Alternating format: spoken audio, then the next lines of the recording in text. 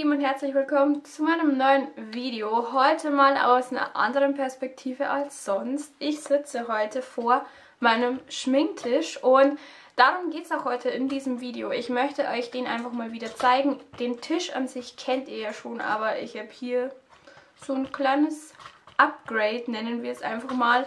Und ich möchte euch auch, hier neben mir steht so ein kleiner neuer Schminkschrank und ich habe letztens meine komplette Make-up-Sammlung zum einen ausgemistet und es kam auch viel Neues dazu. Von daher dachte ich mir, ist es perfekt, einfach mal wieder so ein Schminksammlungs- Schminktisch, Update, was auch immer zu drehen. Und ja, da wünsche ich euch jetzt viel Spaß dabei. Ich habe jetzt mal hier ein bisschen Platz gemacht, um euch den Tisch jetzt hier einfach mal zu zeigen. Ich glaube, so auf den ersten Blick ist es ja natürlich immer noch der alte Schminktisch. Den habe ich ja wirklich schon ziemlich lange. Aber es hat sich darauf ein bisschen was verändert. Ähm, und damit davon rede ich jetzt nicht von den Produkten an sich, sondern von diesem und diesem Licht hier. Ich habe Post bekommen und zwar von Lamps for Make-up. Entweder kennen das einige von euch vielleicht sogar schon. Auf jeden Fall haben die eine sehr, sehr große Instagram-Seite und halt einen Shop, wo sie Beauty-Licht, also solche Lampen verkaufen. Und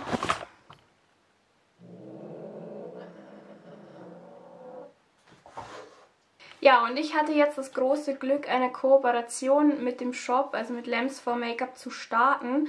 Ähm, dieses Video ist nicht gesponsert oder so, also ich habe diese beiden, also diese Lampen hier kostenlos zugeschickt bekommen, aber ich bekomme jetzt irgendwie kein Geld und ich, alles was ich euch jetzt hier erzähle, ist wirklich so meine eigene Meinung. Das ist doch, also ich, wer mich kennt, der weiß, dass ich nicht irgendwas erzähle, um irgendwas schön zu reden, sondern ich sage es wirklich, wenn ich etwas als gut empfinde, dann sage ich das natürlich auch aus ehrlicher Ansicht raus. Ich habe diese zwei hübschen ähm, Lampen hier jetzt schon seit ein paar Tagen hier stehen und habe mich jetzt auch schon ein paar Mal vor diesem Licht hier geschminkt. Ich sag's euch, es ist wirklich einfach krass. Also selbst meine Softboxen, ich glaube, man sieht es jetzt auch, zumindest in der Kamera sieht es so aus, dass ich fast ein bisschen dunkel wirke im Gegensatz zu dem Hintergrund, zu den Lampen, weil selbst meine Softboxen, die ich für meine Videos benutze, können geben nicht das Licht, was diese beiden Lampen hier geben. Es ist wirklich richtig krass und ich habe viel erwartet. Ich wusste natürlich, es ist so ein Beauty-Licht, es wird krass sein, aber als ich das das erste Mal so eingeschaltet habe, der ganze Raum hier, ich brauche kein zweites Licht mehr, weil diese Lampen so viel Licht abgeben, es ist richtig krass. Da kommen wir auch schon zum Thema Licht. Make-up ist natürlich so eine Sache, bei schlechtem Licht kann es natürlich auch nicht gut werden. Und ich muss sagen, gerade die letzte Zeit, wenn ich zum Beispiel Frühschicht arbeite und morgens aufstehe, ich habe nie richtiges Licht. Im Bad ist es alles viel zu dunkel, egal wie viel Licht und das ist so ein oranges Licht, das finde ich auch ganz, ganz schrecklich. Meistens ist es dann so, ich gehe dann in die Arbeit und äh, wenn es dann heller ist, dann gucke ich mich irgendwo im Spiegel an und sehe dann, oh Gott, was ist das, was ist das, hier sitzt etwas nicht richtig, da sitzt etwas nicht richtig.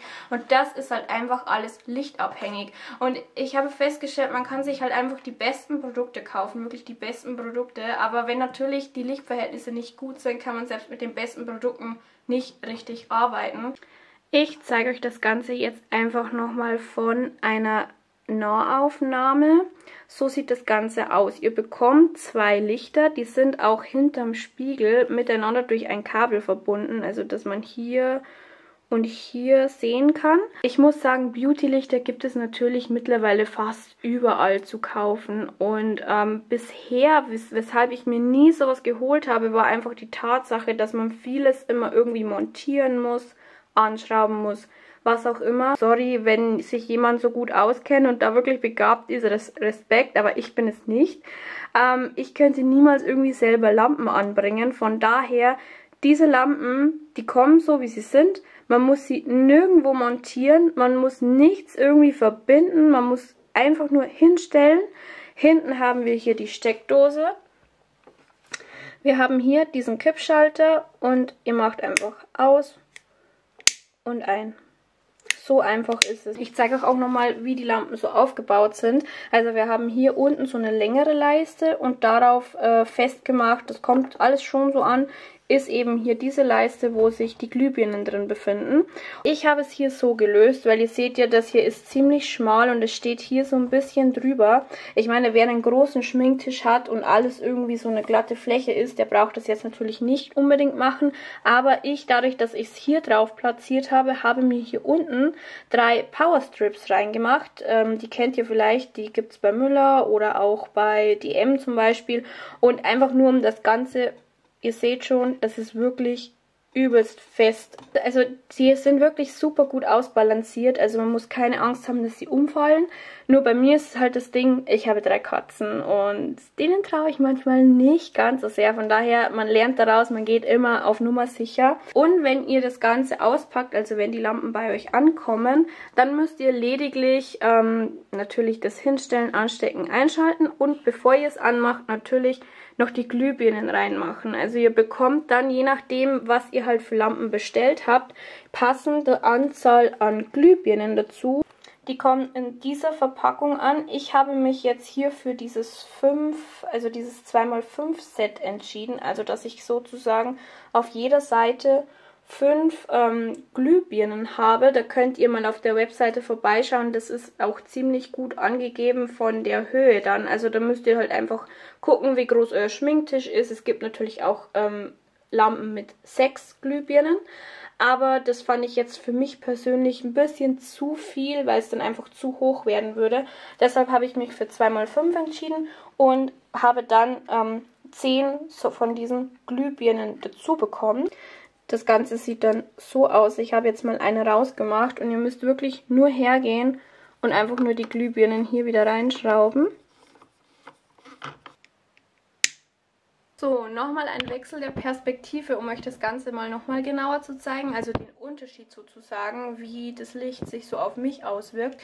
Ich sitze jetzt hier vor diesem Schminktisch und habe hier lediglich mein Tageslicht. Es ist zwar jetzt schon Mittag, es ist draußen hell, aber es ist Winter.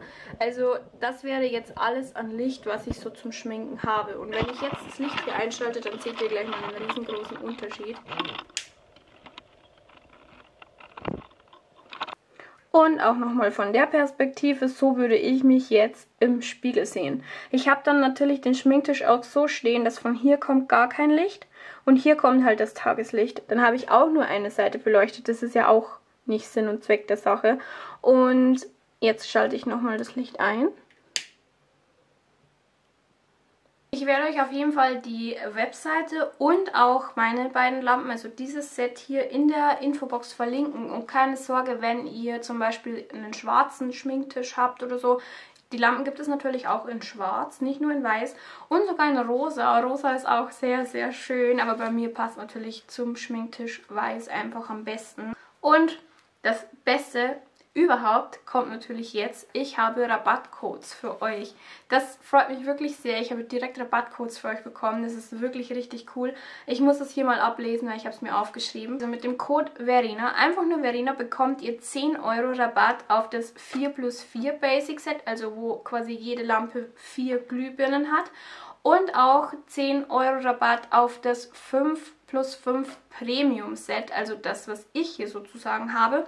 Und dann gibt es noch einen zweiten Rabatt, der nennt sich Verena 20 und da bekommt ihr 20 Euro Rabatt auf das 6 plus 6 Professional Set.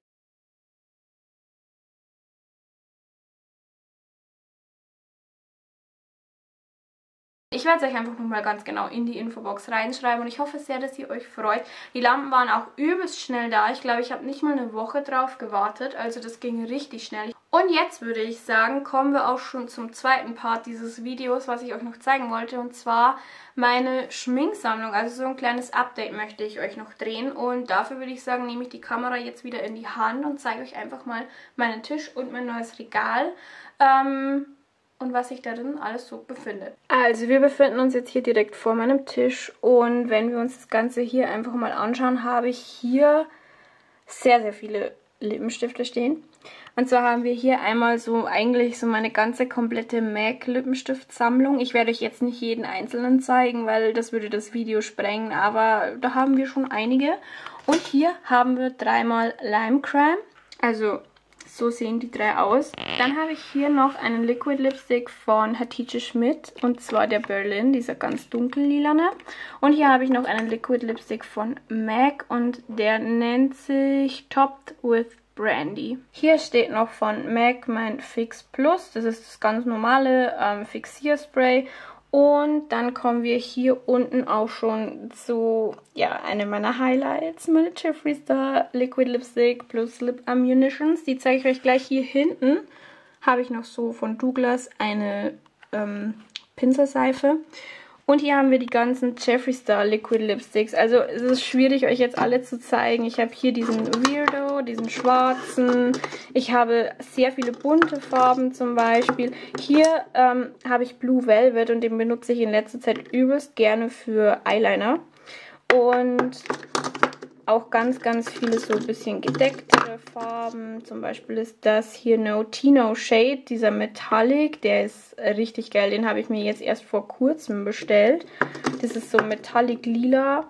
Und hier haben wir, ich glaube, das müsste, ja, Androgyny sein. Das ist auch einer meiner absoluten Favoriten. Hier haben wir einen vom letzten Jahr aus der Weihnachtskollektion.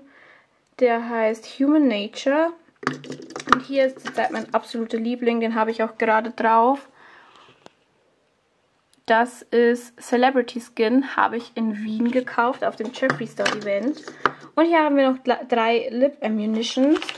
Und zwar haben wir hier Ex Supermodel, wobei ich sagen muss, der ist mir leider fast ein bisschen zu pink. Und in der Mitte haben wir Celebrity Skin und ganz rechts Androgyny. Dann habe ich hier noch eine Schublade und hier drinnen sind gerade so Sachen, die ich irgendwie... Also diese Powerpuff Girls äh, Stifte müsst ihr euch wegdenken, die müssen noch irgendwo hin, die gehören eigentlich hier nicht rein, aber hier sind so ältere Pinsel, also sehr billige Pinsel, also die sehen zwar schön aus, aber die sind echt nicht gut. Und ein paar ältere, die kennt ihr ja auch, so ein paar alte Sachen, von denen ich mich einfach nicht trennen kann, die ich aber wirklich nicht mehr benutze, die haben wir hier drinnen. Und dann kommen wir auch schon zu meinem neuen Schminkregal. Ich habe mir das bei Mömax geholt und das ist eigentlich so für Büro, so ein Rollcontainer. Aber ich dachte mir, das müsste eigentlich sehr gut für mein Make-up auch passen. Ja, man darf sich diese Konstruktion nicht so genau anschauen. I don't know, was sein Problem ist, aber mir egal. Also, wenn wir jetzt hier oben aufmachen, haben wir einmal eine komplette Schublade nur für Jeffree Star. Also dem habe ich eine ganze Schublade gewidmet. Ich zeige euch einfach im Schnelldurchlauf, was wir hier alles haben. Natürlich die Blood Sugar Palette, mein absoluter Favorit, die Thirsty Palette. Dann haben wir hier noch ähm, unten die Beauty Killer Palette und die Androgyny Palette. Und das hier ist einfach nur so eine leere Schachtel, genauso wie diese Skinfrost-Schachteln. Die sind auch schon leer, aber ich will es nicht wegschmeißen. Dann haben wir hier zweimal Skinfrost, einmal Ice Cold. Und einmal Lavender Snow, den habe ich mir auch jetzt erst vor kurzem gekauft. Dann haben wir hier meinen absoluten Favorite. Es sieht einfach so, so schön aus. Das ist Hypothermia von diesen Supreme Frost Highlightern. Habe ich auch in Wien gekauft. Und dann haben wir hier noch drei Lip Scrubs. Und zwar haben wir hier, von dem bin ich ein bisschen enttäuscht, die mag ich geschmacklich nicht so gerne. Ähm, Chocolate Covered Strawberry. Das hier ist Root Beer, das war so mein erster. Und hier haben wir noch Strawberry Gum, der ist auch sehr, sehr lecker. Ich habe jetzt hier einfach mal ein bisschen aufgemacht. Hier hinten ist Lavender Snow, Ice Cold, Hypothermia und hier haben wir die Blood Sugar Palette. Und hier haben wir die Thirsty Palette, einfach um mal für alle, die die Sachen halt einfach nicht kennen, das soll es ja auch geben, ähm, einfach, dass man sich ein bisschen vorstellen kann, wie die Farben so aussehen. Und hier haben wir noch die Beauty Killer Palette, das war ja die erste. Und hier haben wir die Androgyny Palette. So, und wenn wir die nächste Schublade öffnen, das ist sozusagen die Gesichtsschublade, also alles, was man so für eine Base braucht, haben wir hier einmal ein Zoeva Pinselset. Also das sind alle meine Pinsel drin, überwiegend von Zoeva. Ähm, ja, so für Gesicht, Puderpinsel, Foundation Pinsel, Bronzer Pinsel, Highlighter Pinsel und so weiter und so fort. Und dann wird es hier drunter erst interessant. Das sieht jetzt alles übelst durcheinander aus. Oh mein Gott, hier habe ich noch zwei so Ebelin-Pinsel. Dann würde ich sagen, zeige ich euch jetzt mal das, was hier drunter ist. Hier habe ich so eine Konturpalette von Beard Cosmetics, die ich allerdings jetzt nicht rausholen möchte. Und hier haben wir diese NYX-Palette zum Konturieren mit Puder, Kontur und Highlighterfarben. Hier habe ich so eine kleine Probe von der Water Weight Foundation von MAC, weil ich gerade irgendwie so am gucken bin, mir mal vielleicht eine neue Foundation zuzulegen. Hier hinten habe ich leere ja, Studio Fix MAC Puder Dosen. Habe ich irgendwie alle aufgehoben, drei Stück, keine Ahnung. Oil Control Paper von Essence. Hier habe ich von NYX so eine Base, diese Honeydew. Ähm, die ist im Sommer richtig gut, weil die übelst erfrischend ist, wie ich finde. Aber gerade derzeit benutze ich sie nicht so gerne. Hier hinten habe ich von Alverde so, ja, Anti-Rot-Korrektur-Dinger. Allerdings finde ich die zu grün. Also mir ist es wirklich mal passiert, dass ich in der Arbeit angekommen bin und dann gesehen habe, dass das Grün voll durch meine Foundation durchscheint. Nicht so cool. Hier hinten habe ich noch so kleine Kabuki-Pinsel, die benutze ich aber eigentlich auch fast nicht von Essence und von Douglas. Und dann kommen wir hier zu meiner derzeitigen, also ich habe wirklich derzeit nur zwei Foundations, weil ich ja eine Ahnung für sich keine Foundation mehr trage. Habe ich hier noch die von MAC, die Pro Longwear Foundation in NW15 und dann hier von L'Oreal die Infallible 24 Stunden Matte Foundation ähm, in der Farbe Natural Rose. Allerdings, ja, ich bin halt einfach kein so ein Foundation-Fan mehr und vor allem nichts mehr, was so mattierend ist, weil ich halt auch trockene Hautstellen habe und ich habe das Gefühl, es verträgt sich einfach nicht. Von daher bin ich zurzeit eher an so flüssigeren Foundations am Testen, aber da muss ich mal gucken, für welche ich mich letztendlich entscheide. Wenn ich noch irgendwie was trage, dann vielleicht diese BB Cream ähm, von Garnier. Das ist so die hellste Farbe, die es gibt. Die ist eigentlich ganz gut, wie ich finde. Und dann haben wir hier mein aktuelles Studio Fix ähm, Puder von MAC in N hier habe ich NC10, normal habe ich auch immer NW15, hier habe ich jetzt NC10. Ich finde, man erkennt nicht viel Unterschied.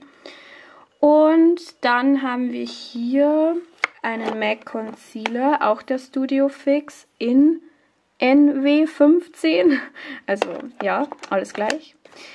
Dann haben wir hier meinen Primer, den ich derzeit gerne benutze. Den habe ich vor kurzem erst geholt. Face Studio Prime Hydrating Primer von Maybelline. Der ist wirklich richtig gut. Ähm, der setzt sich, finde ich, nicht so ab, sondern es ist, ist, als würde man so eine Creme auftragen. Das finde ich sehr schön. Dann habe ich hier meinen Konturstick. Den benutze ich zurzeit am ehesten. Weniger diese Puder-Konturfarben, sondern eher den. Ähm, diesen Wonderstick, da habe ich die Farbe Light to Medium. Und dann habe ich hier so, das ist eigentlich mein Blush, den ich immer benutze weil der eigentlich ganz hübsch ist und nicht so pink, sondern einfach ganz dezent und er hat auch ein bisschen Schimmer mit drinnen. Als Bronzer benutze ich immer den hier, aber da habe ich mich ja letztens schon mal beschwert, dass ich einen neuen brauche, weil der ziemlich dunkel ist. Der ist von U-Star und der nennt sich... Der hat keinen Namen, der heißt einfach nur U-Star Sunkiss Bronzer Powder. Okay, alles klar. Und hier haben wir noch von, also hier ist nur Babypuder drin. Und hier habe ich, benutze ich aber auch eigentlich gar nicht. So ein Color Correcting Loose Powder ist das. Und ja, ist jetzt auch nichts, was man sich irgendwie nochmal kaufen würde. So. Ja, was haben wir hier noch? Zwei Highlighter. Einmal, in den habe ich mich im Sommer übelst verliebt. Von MAC, das war so eine Limited Edition. Ähm, hieß es zumindest. Und der nennt sich Whisper of Guild. Den habe ich gesehen und ich dachte, wow, I need it. Und das ist halt so mein goldener Highlighter, wenn ich Bock auf Gold habe. Und dann habe ich noch einen auch von Julia, weil sie meinte, sie benutzt ihn nicht. Und der ist zurzeit so wirklich mein absoluter Liebling. Beziehungsweise ich benutze immer den als Base und meistens dann von Jeffree Star den Hypothermia drüber. Und der nennt sich Beaming Blush. And then we have here Justin Bieber. Justin Bieber. Und dann habe ich hier mir so eine kleine Kiste geholt. Bei Teddy habe ich diese so, so Mini-Schachteln sind das. Hier habe ich halt ein bisschen so Sachen wie Eyeliner. Ich benutze eigentlich seit zwei Jahren nur noch von L'Oreal diesen Black Lacquer Waterproof Superliner Dings hier.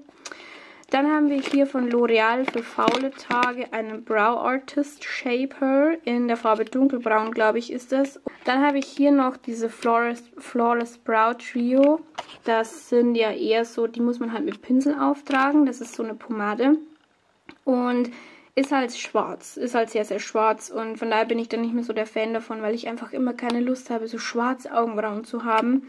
Und deshalb habe ich mich ähm, jetzt vor kurzem, habe ich mir das hier geholt von Anastasia Beverly Hills, diese Dip Brow Pomade und das hier ist die Farbe Granit. Also das fand ich halt cool, weil es ist nicht dunkelbraun, weil dunkelbraun ist in den meisten Fällen für mich dann zu warm und schon zu bräunlich. Aber es ist halt auch kein Schwarz und das finde ich sehr, sehr gut. Hier habe ich schwarzen Kajal, braunen Kajal ähm, von Essence, dieses Augenbrauen-Gel. Dann kommen wir zur dritten Schublade und hier haben wir erst nochmal noch mal so ein Zoeva Pinselset mit Lidschattenpinseln. Also hier ist alles drin an Lidschattenpinseln. Reynolds May, kannst du das mal bitte kurz halten? Danke. Ja, und hier habe ich auch so ein bisschen aufgeteilt. Hier habe ich mir so eine kleine Schachtel geholt, wo einfach nur lose Lidschatten drin sind. Ich gehe die jetzt nicht unbedingt alle durch, aber man sieht, ich habe so ein paar von Kiko. Dann habe ich ein paar von NYX, die finde ich wirklich sehr, sehr schön. Die sind auch super gut pigmentiert. Das hier ist jetzt zum Beispiel die Farbe Fireball, also so richtig schöne Kupfertöne. Oder der hier ist so ein, wenn man vielleicht mal gar nichts macht, kann man den halt trotzdem drauf machen. Dann hat man halt wenigstens so einen Schimmer am Auge, finde ich sehr, sehr schön. Ähm, das hier ist noch so, eine, ähm, so ein Primer für diese Pigments hier, zeige ich euch gleich. Ähm, ja, hier, den finde ich auch schön. Ich mache den eben mal auf. Das ist halt so ein Eyeshadow Mousse und ich finde das auch schön. Das benutze ich auch ganz oft, wenn ich gar keinen Lidschatten benutze. Dann mache ich das drauf. Sieht sehr, sehr dunkel aus, ist es aber wirklich tatsächlich nicht. Ähm, aber hat halt diesen Blauschimmer drin. Das finde ich richtig schön. Und auch noch ein paar lose Lidschatten, so von MAC. Hier auch einen sehr, sehr dezenten. Und den finde ich richtig schön. Das ist wirklich ein richtig, richtig krasses Dunkelrot. Das ist richtig schön. Das ist I'm Into It heißt der sehr, sehr hübsch. Und dann haben wir hier noch ein paar Paletten. Einmal von Lunatic Cosmetic Labs. Das ist die Supernatural Eyeshadow Palette. Dann habe ich hier von Anastasia Beverly Hills die ähm, Subculture Palette. Hier ganz unten drunter, ich will sie jetzt auch nicht rausholen, ist die Zodiac Palette von BH Cosmetics. Und hier habe ich noch so eine Palette von Sleek. Ähm, oh So Special heißt die. Die ist jetzt allerdings nicht unbedingt mein Favorit. Sind zwar schöne Farben für 10 Euro, wirklich sehr, sehr gut. Also finde ich, kann man sich mal holen und finde ich sind auch richtig coole Farben. Aber die Farben hauen mich jetzt nicht so um. Aber dafür diese aus der Palette. Also hier sind schon eher so meine Farben dabei. Ich habe mir die gekauft und fand sie so toll, dass ich mir noch eine zweite holen wollte. Und dann wurde das, diese Oh So Special wurde die zweite. Aber da bin ich dann doch nicht so begeistert wie von der. Von, rein nur von den Farben her. Das ist die Storm Palette. Und hier kennt ihr ja diese schon. Das ist die Essence Ho Ho Ho Palette. Die habe ich ja letztens in einem Video gezeigt. Und ich zeige euch die hier noch.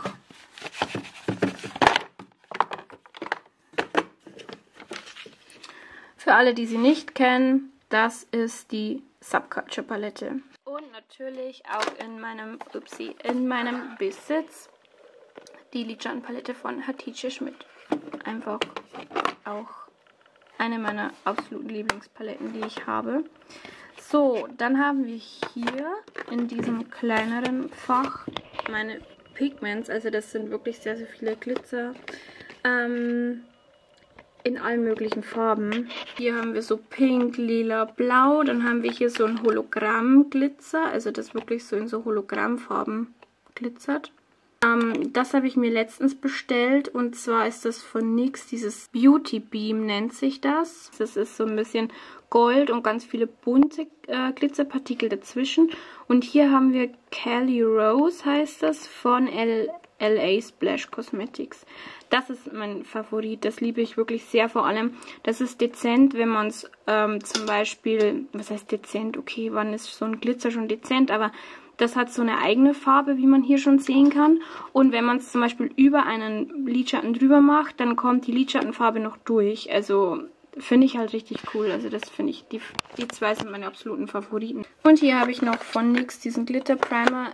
Und dann kommen wir auch schon zur letzten Schublade. Das ist diese hier.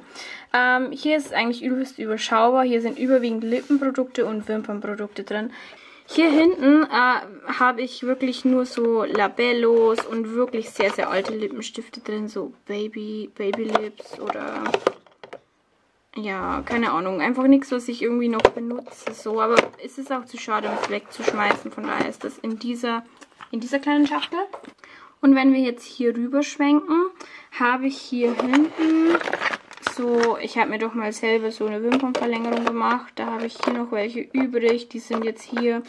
Hier sind noch aktuelle Wimpern, die die habe ich noch gar nicht aufgemacht. Die habe ich mir letztens geholt. Von Kiss sind die. Dann habe ich hier vorne noch so eine kleine Schachtel. Hier ist eine Wimpernzange.